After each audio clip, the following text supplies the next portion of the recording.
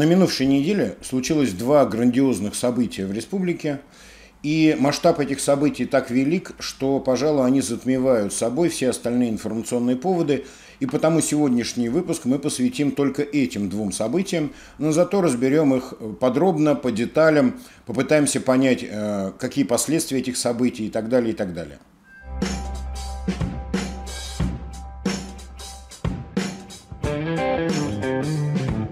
В минувший вторник, 9 апреля, по телевизору таки показали те самые консервы, то есть встречу Владимира Путина и Ради Хабирова, которая случилась на самом деле 2 апреля.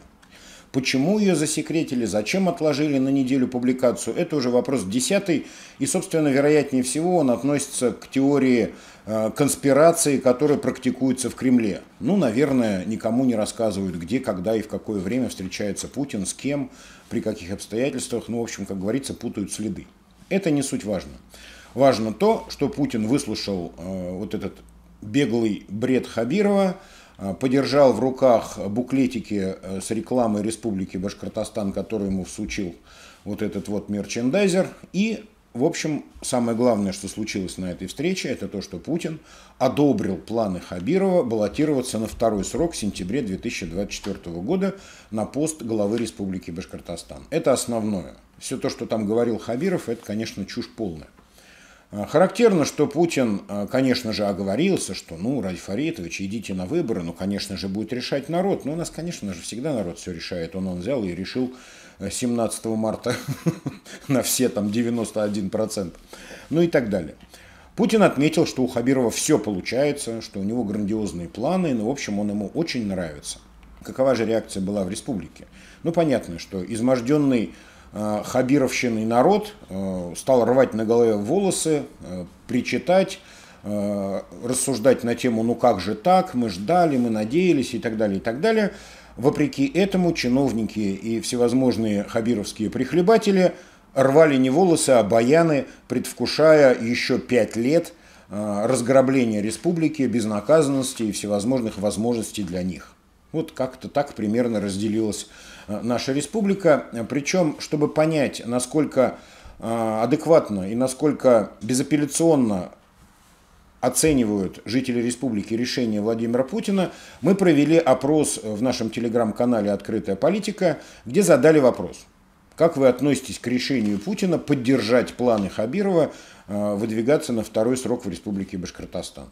Честно говоря, меня э, результаты этого опроса удивили, потому что всякий раз, когда мы э, в телеграм-канале задаем вопрос, касающийся Путина, тут же набегают тролли, которые там забивают все своим голосованием и делают какой-то более-менее похожий на лояльность результат. В данном случае только 16% опрошенных поддержали Путина э, в решении э, выдвинуть Хабирова на второй срок. Ну и, соответственно, 84% голосовавших посчитали, что Путин в этот раз ошибся и не стоило ему Хабирова выдвигать на второй срок. Вот такой неожиданный результат. Ну, как бы там ни было, результат уже есть. Можно, конечно, еще раз поучаствовать э, в этом голосовании.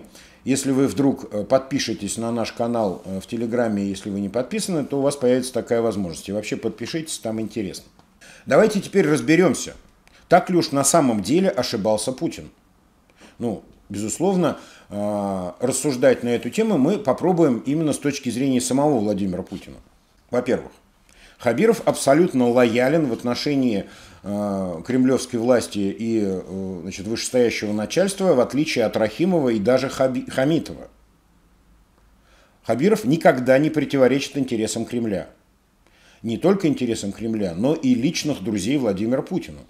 По первому требованию Хабиров отдает суду Ротенбергам машиностроение Чемезову, дорожное строительство ВТБ и Сбербанку. То есть тут даже ни о каком противодействии речи не идет. Очень удобный губернатор.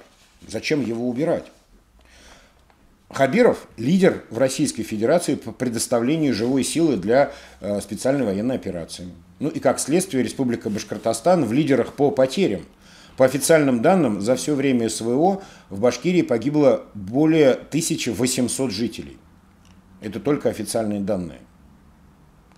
Для справки, например, в соседнем Татарстане, у которого сходное население и сходная география, этот показатель на 22% меньше.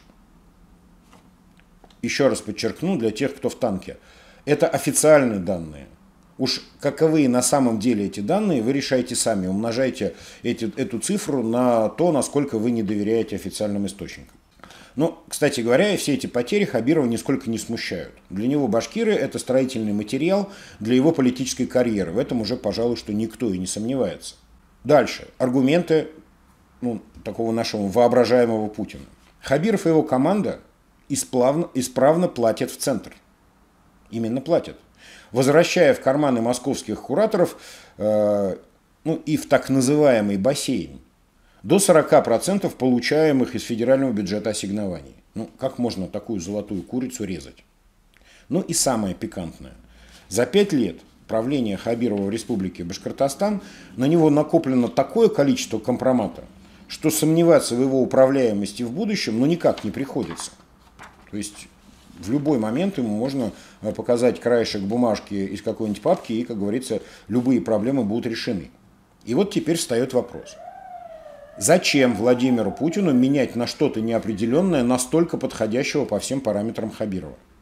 Ну, лично я не вижу ни одной причины, по которой Путин не продлил бы Хабирову э, полномочия в Республике Башкортостан. Так что, как бы это ни было печально для изнемогающих от Хабировщины, это абсолютно закономерный результат.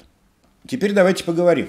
Что нас ждет дальше? Ну, хотя бы предположим. Изменится ли Хабиров на своем втором сроке э, и что нам ждать от него до 2029 года? Ну, конечно, изменится. Даже такие не шибко острые умом люди, как Ради Фаритович, э, способны меняться под воздействием окружающей среды. А окружающая среда меняется стремительно. Второй срок губернаторов в России – это вообще всегда срок, посвященный, во-первых, сохранению награбленного – Э, и, э, как говорится, складированию этого награбленного в безопасных местах. Ну, э, и еще, во-вторых, это попытка хоть сколько-нибудь пристойно отпечататься в региональных исторических хрониках. Вот есть такой странный, такое странное движение у губернаторов, они хотят остаться в истории какими-то более или менее положительными персонажами. Это прослеживается практически на всех примерах.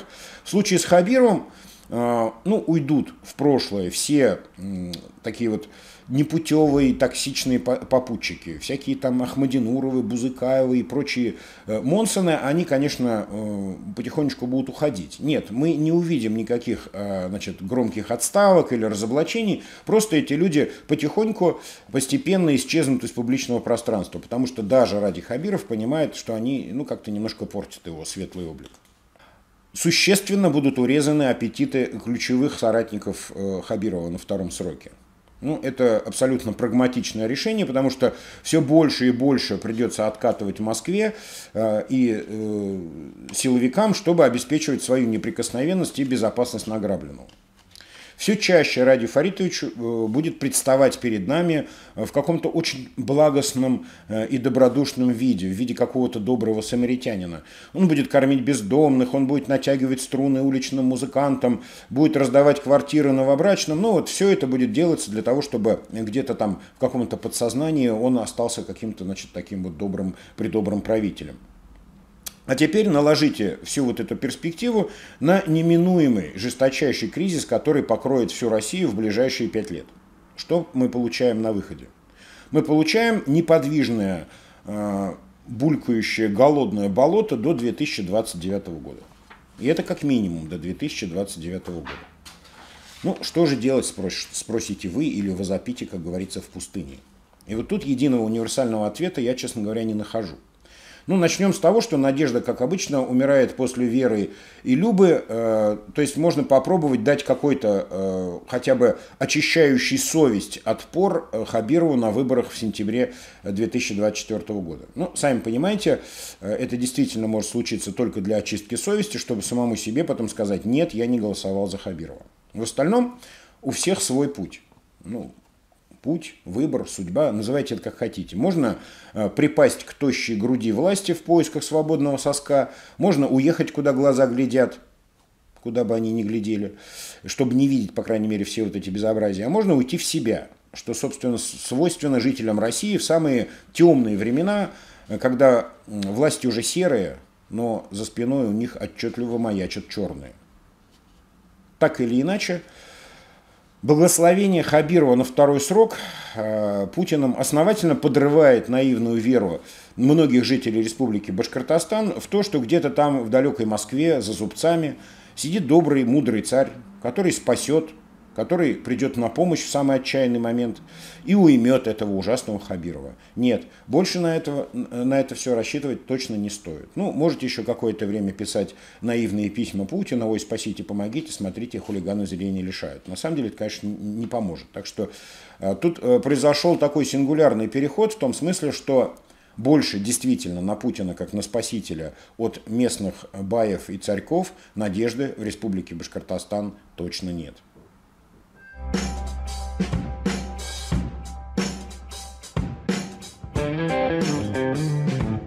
Не забывайте, пожалуйста, подписываться на наш YouTube-канал, а также на канал в Telegram, он тоже называется «Открытая политика». Ну и на всякий случай подпишитесь на э, «Открытую политику» в Яндекс.Дзене. Чем черт не шутит, вдруг что-нибудь закроют, а там э, канал абсолютно независимый. Ну и не забывайте о том, что мы существуем исключительно на ваши пожертвования, а потому э, мы безгранично и заранее благодарны всем тем, кто помогает каналу материально. Помочь каналу материально можно на любую сумму через расчетный счет, который мы вам демонстрируем, и который вы можете найти в описании под каждым видео на нашем YouTube-канале.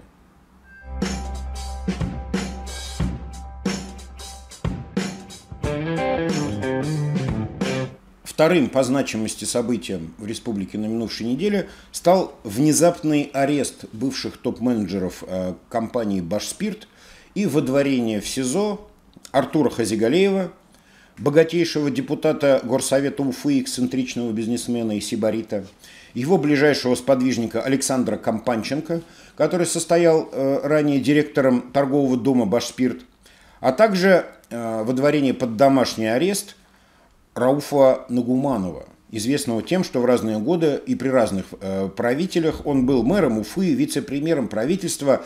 И вот э, с 18 по 22 год он был генеральным директором э, компании «Башспирт». Напомню, что «Башспирт» – это крупнейший в России производитель алкоголя, полностью принадлежащий государству. Ну, в частности, он полностью принадлежит Республике Башкортостан как имущество – Вышеупомянутой троице вменяется статья 159, часть 4 Уголовного кодекса Российской Федерации. Мошенничество в особо крупном размере, совершенное группой лиц по предварительному сговору. По этой статье а, предполагается лишение свободы от 2 до 10 лет. Но прежде чем рассуждать о том, что это было и чем это закончится, давайте откатимся на 6 лет назад – как только в республике воцарился Хабиров, он с порога начал подбирать под себя все доступные денежные потоки и активы. Ну, конечно же, Башспирт сиял на этом поле ярче всех. Многомиллиардные обороты и стабильный сбыт э, продукции при полном отсутствии каких-либо акционеров и э, посторонних собственников. Полный контроль. В 2018 году Хабиров немедленно и полностью меняет менеджмент Башспирта – и, как говорится, понеслось. Ураганили все. Сидякин стал председателем совета директоров. Нугуманов генеральным директором.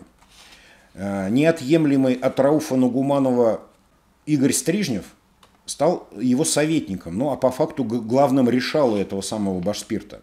Иноагент Мурзагулов присосался к рекламным бюджетам, и фирма, которая была зарегистрирована на его родственников, благополучно осваивала эти бюджеты. Даже Ульянка Трегубчак была замечена скачущей на огромной бутылке водки от Башспирта и рекламирующей все вот это вот. А еще один иноагент, Алишер Моргенштерн, куснул таки с краю сытный пирог рекламных бюджетов, тоже с подачи все того же иноагента Мурзагулова. В общем, вся эта вакханалия длилась до 22 года. В общем, гуляли широко, обильно и долго. Не забывая, правда, в угаре вот этих вот развлечений и всевозможных форумов и о достаточно простеньких схемках. Вот тут-то и появляется Артур Хазигалеев, лично приглашенный Радием Хабировым для якобы настраивания розничного бизнеса Башспирта. Ну, как Хазигалеев, как говорится, и настроил. Веселье длилось 4 года, и в 2022 году Хабиров резко меняет всю эту развеселую команду. Сидекин тут же отъезжает в Москву под крыло депутатской неприкосновенности, Мурзагулов сбегает в Европу и начинает оттуда кидаться калом своих бывших друзей. Игорь Стрижнев предусмотрительно э, достает из э, чулана припрятанный итальянский паспорт и отбывает в Тоскану. Но уже в феврале 2023 года силовики врываются в офисы Башспирта, изымают документацию и спешно заявляют о причиненном государству ущербе э, на 400 миллионов рублей. А дальше? А дальше случается ничем не объяснимая пауза на целых 14 месяцев. Никто не задерживается, никто не арестовывается, никому не предъявляются обвинения, никак не возмещается вот этот уже озвученный ущерб в 400 миллионов рублей. И вот, на следующий день, после того, как Хабиров э, опубликовали, вернее, э, Хабировское благословение от Путина, происходят аресты. Аресты Хазигалеева и Компанченко и водворение под домашний арест э, господина Нугуманова. Есть даже версия о том, что Хабиров собственноручно накатал какой-то донос на своих недавних товарищей, и это э, во многом поспособствовало вот этим вот э, значит, событиям, и как бы вот этот донос, эта бумага была частью сделки с Кремлем. Мне эта версия не представляется достаточно реалистичной, но факт того, что Хабиров не только время от времени теперь сдает своих, но и, в общем-то, практически полностью опроверг свой тезис о том, что нужно насмерть стоять за свою команду. Этот факт, пожалуй, что не подлежит какому-то серьезному сомнению теперь уже. Теперь давайте попробуем разобраться в перспективах уголовного дела Башспирта, ну, постольку, поскольку оно закрутилось. И, кстати говоря, крутиться будет довольно стремительно, потому что э, дата окончания срока следствия – это 13 мая. Судя по тому, что ранее звучавшая сумма ущерба в 400 миллионов рублей существенно сократилась до 88 миллионов, определенные эпизоды изъяты из уголовного дела и рассматриваться не будут. Ну, это мое пока предположение. Велика вероятность и того, что Хазигалеева и Компанченко сделают, как говорится, крайними. А Нугуманову погрозят пальчиком и ну, немного оштрафуют э, в пользу казны, а много оштрафуют, как говорится, в пользу не казны. Есть и такое предположение. Если события будут развиваться э, именно так, как я предполагаю, за скобками следствия может остаться многомиллионные злоупотребления, например, с рекламными бюджетами. То есть там, конечно, порезвились изо всех сил. Повторюсь, там был в теме господин Мурзагулов, и не исключено, что часть э, этих доходов все еще до сих пор поступает туда, к нему, в это иноагентское значит, логово за границу. Могут остаться за скобками и делишки, связанные с устройством вот этого странного дворца дома приемов на улице Пушкина, который тоже строился почему-то Башспиртом. Зачем Башспирту нужен был дом приемов, совершенно было непонятно. Судя по всему, исходя из этой логики, неприкосновенным и непричастным останется и бывший председатель Совета директоров Башспирта Александр Сидякин. Тут, как говорится, Саша проявил всю свою Э, бдительность и всю свою наблюдательность, вовремя смекнул, чем закончится вся эта история и э, забаррикадировался в Государственной Думе, прикрываясь своей неприкосновенностью. Не станет, видимо, заморачиваться следствие и по поводу еще одной ключевой фигуры. Я говорю про Игоря Стрижнева, того самого советника Нагуманова, который на самом деле был связным между всеми вот этими вот сложными механизмами э, злоупотребления в Башспирте. Игорь Стрижнев в данный момент, напомню, благополучно попивает кьянти в Тоскане. Хотя извлечь его из Европы вполне реалистично. Стрижнев регулярно посещает Лондон по своим делам, а англичане, как известно, весьма отзывчивы к ордерам Интерпола, если речь идет о криминальных основаниях. Дело остается только за тем, чтобы следствие сейчас э, грамотно написало этот ордер и определенным образом представило его в Интерпол. Как это ни странно, но это работает.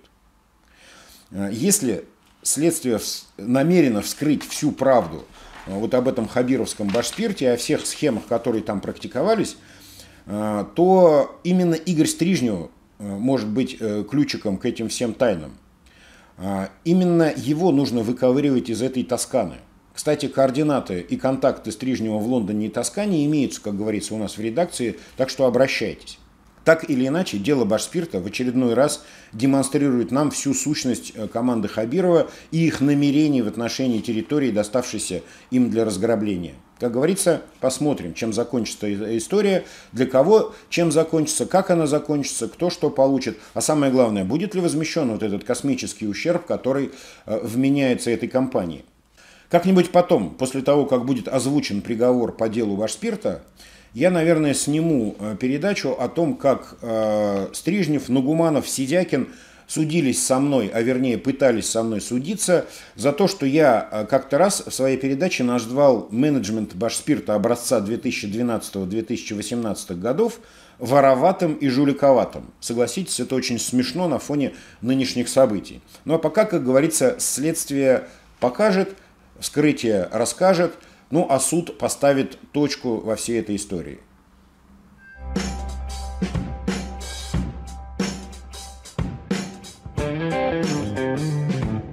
Завтра, 14 апреля в 21.00 на нашем YouTube-канале состоится 103-й э, стрим открытой политики. Безусловно, э, в сегодняшнем выпуске я не охватил всю полноту событий, которые происходили в республике за минувшую неделю, так что завтра во время стрима вы можете задавать те вопросы, которые вас интересуют, или то, о чем я сегодня э, не говорил в нашем выпуске. Так что собираемся, ставим очередные рекорды, поговорим, постараюсь ответить на все вопросы. Заранее вопросы можно присылать в виде комментариев вот к этому нашему сегодняшнему видео. thank you